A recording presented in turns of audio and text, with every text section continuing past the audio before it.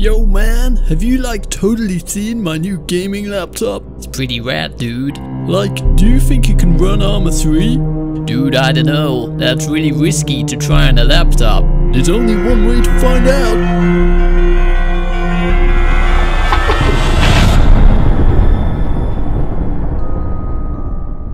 So I've been trying to figure out some new stuff to make on Arma 3 when it suddenly hit me. I recently bought a new laptop for uni work and playing games on the go and one burning question I had when I was doing my research for the right laptop to buy was will it run Arma 3? I seem to always have to make these little disclaimers but I am not paid or endorsed to make this video.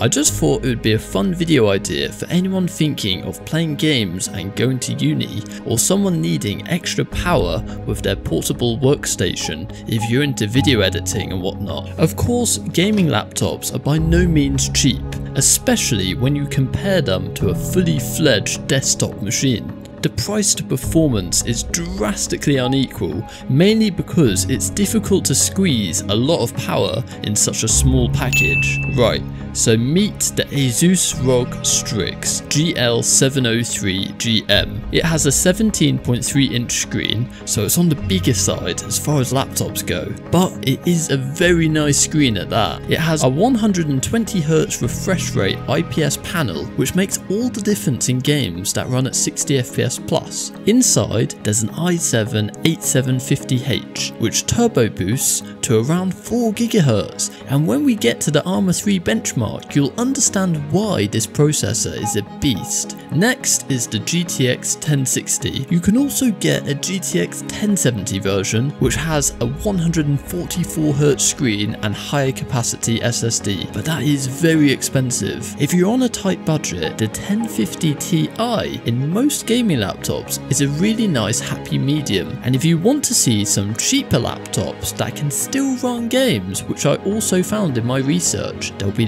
in the description. Back to the laptop. We also have 16GB of RAM in the version I have, which is perfect for multitasking and light rendering. A 256GB M.2 SSD, which is just disgustingly fast. Like look at these boot times. It feels so awesome to rock up to a lecture, press the power button and be ready to rumble in a matter of seconds. And of course, any games you install on it will benefit from shorter startup times and better texture loading for drive streaming heavy games like Arma or DayZ. Then there's a 1TB SSHD, which is basically a hybrid of a mechanical and solid state drive. It's actually really nice they threw this in, since most gaming laptops I looked at only had teeny tiny SSDs, which isn't much use if you're planning on using it as a workstation or as a gaming rig with lots of big games that gobble up space. Now, there is one thing you need to know. It feels light to handle, but my god does it kill your back if you're carrying it around a lot. It weighs 3 kilos, which is a whopping 6 pounds, so keep that in mind. If this is a big no-go for you, the Razer Blade might be more suited to your needs. I actually find it easier to store and carry around with this waterproof protective pouch underneath my arm, so I'll be linking where I got this from, as well as my backpack. In general, don't expect to be Usain Bolt if you're carrying around a gaming laptop. They usually require power packs to be 100% performance effective. Plus your mouse and headset, you're usually lugging around a lot of hardware. Even then though, they still trump my gaming rig in terms of portability. Look at how it compares size wise to just my monitor. I can carry all of my stuff play PC games in my rucksack Yet, when I moved to uni, I needed two big boxes, plus another cardboard one filled with peripherals to transport my main rig. In terms of battery life and performance, there are a few pointers you ought to follow to get the best possible battery life. The number on the Amazon page says it's 12 hours, but that's a load of bullshit. Without any tweaking, it was running out of juice after one and a half hours, but with tweaks, I can get about four and a half hours out of it just doing Word Document Pro keyboard. One thing I'll stress is while the laptop is made well and has some nice brushed aluminium around it, don't be fooled.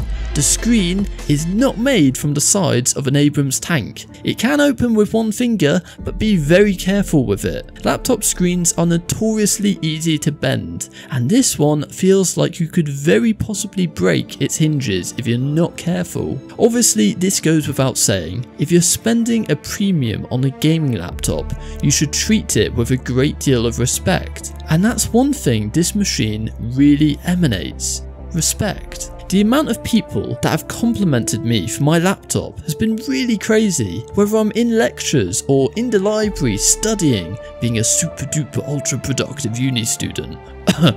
People have always picked up on its design. It looks the real deal, and unlike a lot of other gaming laptops, it's not obnoxiously nerdy. It's also pretty thin too, at 2.4 centimeters. I would say you could easily get away with using this for business purposes because of how pleasing it is on the eyes. And if the keyboard is too much and too flashy, you can always disable it so it looks more professional. One of my concerns when I got this laptop was how I would be sat down in a quiet lecture room and the laptop would be pumping out fan noises like a fighter jet, but luckily it's been pretty damn good. When it's on battery power, the fans stay quiet, but while we're gaming, well, it's a lot more noticeable. Final touch up points are the speakers are good, but could do with being a bit louder. The webcam is awful, the Wi-Fi card inside it is mind-blowingly fast, the I.O. connectivity is surprisingly good, and the memory and drive bays can be upgraded, which is nice for longevity. Now for the exciting stuff, what you all came here for, the gaming performance.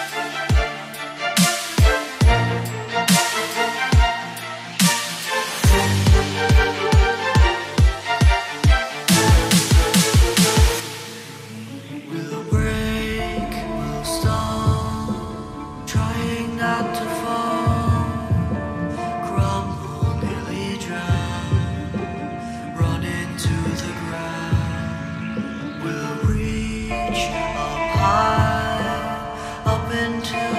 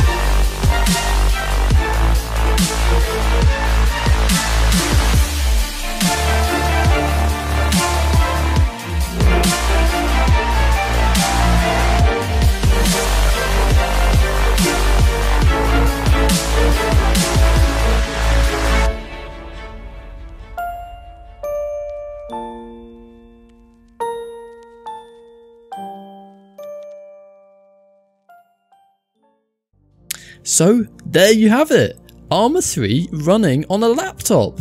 Pretty amazing if you ask me. This laptop is amazingly fast for general productivity. However, I think one big con for me is the battery life to performance ratio. I can get great battery life if I just use it for Word with Wi-Fi off and the brightness turned down. It's like 4 to 5 hours, but my god, as soon as I open up loads of tabs, turn the brightness up, do some light photo editing and bits and bobs, without power, it tanks in short, if you're on the go and you need something for productivity and gaming if you're a student, but you're not a workaholic traveller who relies on battery life, then this might be the perfect laptop for you. It delivers above and beyond in terms of gaming performance. The screen is beautiful and sharp, the build quality is fantastic, and the specs are amazing for such a small form factor. If you're at uni or college or whatever, you'll likely have a few power sources around you anyway. But if you're the sort of person who needs non-stop 12 hours of productivity, get off this damn video and buy a Surface Pro. But seriously, this is an amazing laptop. I'd highly recommend it if you're into your gaming and you don't have the space for a big rig on your desk. One final thing I'd recommend for typing, posture and airflow is something called a riser. These lift up your laptop so they get more airflow from underneath, promoting lower temperatures, better frames because of less thermal throttling, and of course, nicer ergonomics for typing. I hope you guys enjoyed this slightly different video for my channel. It was a lot of fun to make, and I actually feel a bit like Linus Tech Tips. Also, apologies for the rubbish camera quality. I'm stuck with using my iPhone for all of my real life shots. Something I haven't invested in yet is a decent camera. Rate the video if you did find this useful, and I hope you guys have an excellent week. Tommy out.